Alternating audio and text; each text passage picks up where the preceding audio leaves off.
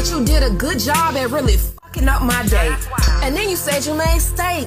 Nigga, that was banquet, Salisbury steak.